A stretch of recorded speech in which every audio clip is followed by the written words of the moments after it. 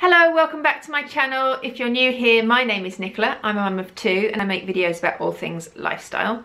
And today I thought I would do something I haven't done for quite a while, which is a favourites video. I've called it my summer favourites because we're well into August and summer unfortunately seems to be on its way out. It is miserable today, very grey and dull. And I think we've had pretty much our summer as it's going to be. So this is my summer favourites, things that I've been loving over the last few months. Some of them are, no, all of them are new. So things that I have found perhaps in the last few months that I thought I would share with you. Most of it, in fact, yeah, it's all sort of fashion and beauty. There's not a lot else. Um, although I will start with the one which is just behind me, which is this candle. Um, I have lit it, so I will carefully bring it forward to show you. This is, I actually showed it in my last Home Bargains haul, I think, um, which I will link above. Um, and it is this Wickford & Co one from Home Bargains. It's the strawberry cheesecake. And it is, well, it smells just like strawberry cheesecake. It's gorgeous. It's just like biscuits. And um, yeah, really yummy. So I have lit that one today. And especially because it is so miserable outside and it's feeling a bit autumnal actually. Well, I'm, I'm pulling a face. I love autumn, so I'm not bothered about that at all. We can get all the autumn candles out. Um, anyway, right, enough about the weather. Right, I've got a few beauty bits that I wanted to share. Um, I am not an expert when it comes to makeup or beauty. In fact, I commented, um, Louise Pentland put um, a post on her Facebook, no, her Instagram the other day um, to say I don't know, she'd made a, an effort with her face to go out and see a friend and um, what makeup or what things do people like to do um, with their makeup and I said I would just love to know what to do with my makeup because I never really, I've watched so many tutorials and um, things about how to do your face and just can't. I mean, I, yeah, I can do a basic makeup, but that's about it. Anyway, I was finding that my makeup was um, not lasting. Um, and also whenever I wore white was getting all over my tops um, even if I was really careful. So I went into Superdrug and I bought some of this which is the Maybelline Face Studio setting powder. And it's brilliant, really good. It's a lovely loose powder, just use brush, put it all over. And although it doesn't stop makeup rubbing off onto my tops completely, it certainly has made it better um, and it makes it stick to your face better I suppose and last longer. And obviously it takes off shine. Um, so I, if I get shiny throughout the day I can use some of this and just put it on top and um, it makes me look like new again. So I thoroughly recommend this. I think it was about seven pounds for a small pot which I guess lasts a few weeks about a month maybe. Um, and yeah I thought it was really good. So thoroughly recommend that. And secondly um, I actually, I've been looking for this for a while in the right colour and I can't remember where I, I think I just saw it in Tesco and thought that it would be good. I've been trying to find, so I use, I think I've said in favourites before, I've, I use several concealers, different concealers on my face um, and have done and although I've been really happy with their the way they last and the way they look generally on this part of my face under my eyes I find that they get very cakey because as you get older, unfortunately, the skin under your eyes becomes quite thin and crepey. And it's just a fact of life, unfortunately. If you've watched some of my other previous Home Bargains and Poundland hauls, you'll see I'm not entirely happy with the lines on my eyes and the way my eyes are and it doesn't matter how much I moisturize or look after them the skin is always going to get thin also I had um, eczema as a child and as an adult I've had eczema on around my eyes and steroid creams also make your skin go very thin and even though I've been very careful it will also you know will have affected it, it it can't not. So um, I found that any heavy concealers just go really crepey and very obvious under your eyes. So I found this which is by, again by Maybelline, uh, and is the anti, anti-wrinkle, instant anti-age um, eraser. And it is an under eye concealer and well it's, it's a multi-use concealer actually um, you can use it anywhere but I use it here and here just to take away the black rings from not a lot of sleep um, and just blend them with a beauty blender and I find that it's not cakey, it leaves a nice finish and you can't see it and that's the main issue with I find with other concealers is that you can see it under your eyes. If you're a similar age to me you might have the same problem, you may not yet, um, but yeah it's great and I really like it so I would recommend that if you have trouble with this bit under your eyes. Um, thoroughly recommend that. I use it in the Fair which is quite pale because I'm quite pale skinned. So that's that. Right, next up, I quite often talk about different shampoos and things. I bought the ginger ones from Poundland in my last Poundland haul. They were okay, so they smelt nice, but didn't really do the job. Um, and I use the Elvive quite a lot and I like them, but I'm still yet to find something that I absolutely love until now. Um, and I thought I would spend a little bit more money when I was in Tesco, so I usually go for whatever is cheapest and then or I buy a sort of fairly cheap shampoo and then buy a more expensive conditioner because that's what I need to make my hair sort of feel nourished and um, healthy. But I found this and I thought I would go for something a little bit more expensive. These were on buy one, get one free. So they are £7 each, but I obviously got two for £7, which was a good deal. And they're the Monoi, I think that's how you pronounce it, coconut oil. I think the, the brand is Hask, is it gonna focus? Hask, H-A-S-K, and it is this coconut oil um, shampoo and conditioner.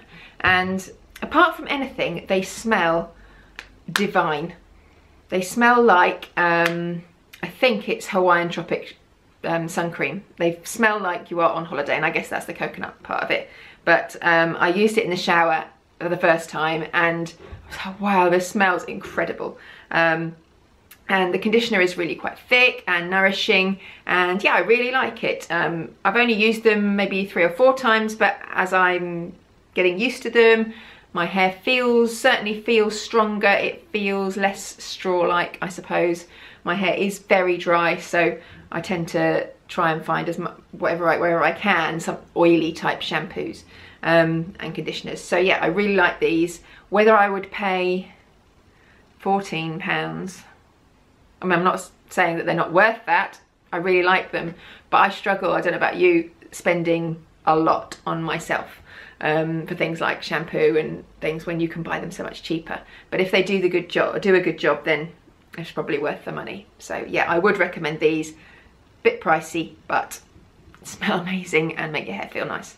Okay, so next up is a moisturiser. I have talked about the Liz Earle Cleanse and Polish a few times. I think I've mentioned it in a previous favourites video um, and I absolutely love it. It, I don't think I'd ever use anything else for my face. Um, it's really, really good. I love it. Uh, it gets makeup off beautifully and Andrew actually uses it for his skin as well, the men's version, which by the way, if you look at the ingredients, is no different to the ladies version at all. It's exactly the same, um, just different packaging. Interesting. Anyway, um, I thought there was an offer on in Boots when I bought my cleanse and polish that if you bought a certain amount or spent a certain amount, you got some freebies. So I thought, oh, maybe I'll try their moisturiser. I've always used Olay moisturiser before, the daily and the night cream, and I've always been happy-ish with it, but my skin, as I mentioned before, is dry, so I thought I would try something different. And I really like this. I've been using it for day and night. I don't think I don't know, they may have a separate night cream, I didn't look. Um, but it is Liz Earle Skin Repair Moisturiser for dry and sensitive skin.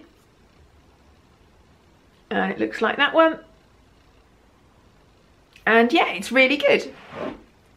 I've been, oh, there we go. I've been really impressed with it. It leaves my skin as focus on me? There we go. It leaves my skin feeling soft and moisturized and clean and yeah i like it. It um, smells really nice. It's uh, got borage i have no idea what that is and avocado oils echinacea and natural source of vitamin e. So yeah i would thoroughly recommend that. That isn't cheap. It is i think 20 £52 for that little pot. I've been using it quite sparingly, um, day and night. And so far, I think I've had it about three weeks, so it's not too bad. If you're thinking, you know, how much you would spend a month on your skincare, then that with the cleanse and polish isn't too bad. I haven't yet invested in a toner for it. I don't really get toner. Like I said before, no expert here, um, but I, have managed without using toner for most of my life, so uh, after 44 years, I reckon I probably can get away with carrying on not using toner. Somebody can comment below and tell me why it's so important. Um, but yeah, so I would recommend this Liz Earle and the cleanse and polish as well, which I've mentioned before, but certainly this moisturiser. The final beauty bit I have is this lippy, uh, which is L'Oreal and it is number 231 Sepia Silk. I have no idea what the colour is, that's just what it's called. 231.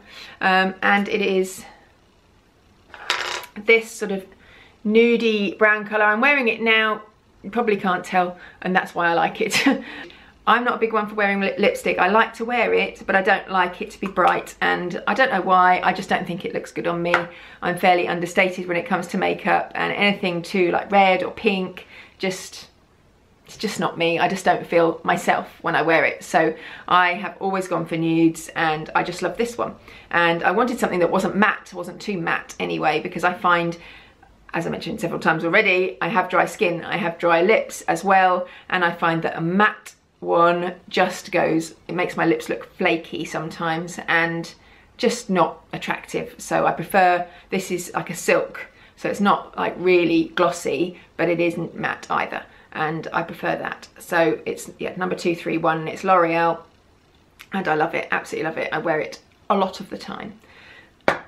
That is it for beauty. Um, just a couple of, well, a couple of fashiony bits really. Um, I went to do some sales shopping just last weekend and um, bought a few bits and I tried to be, in fact this, this dress I'm going to show you isn't wasn't even in the sale, um, but I was trying to be a little more quality over quantity. With I had a specific amount I'd taken to spend.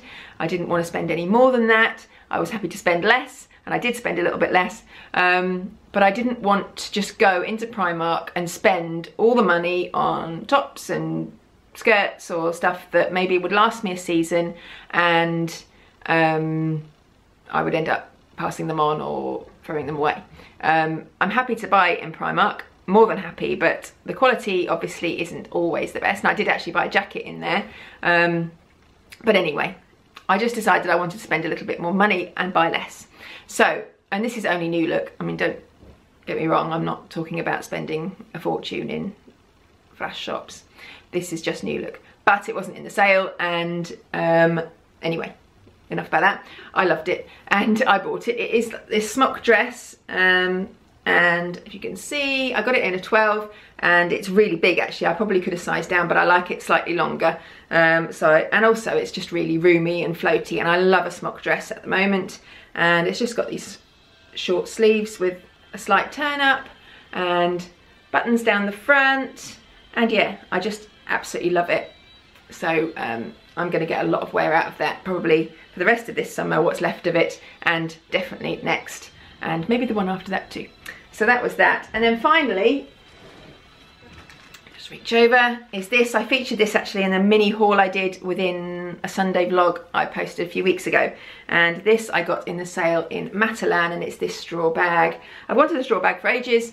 Um, found this one. It just fitted the bill. It was perfect. It's got the right length of strap so I can wear it over my shoulder. It doesn't fall off.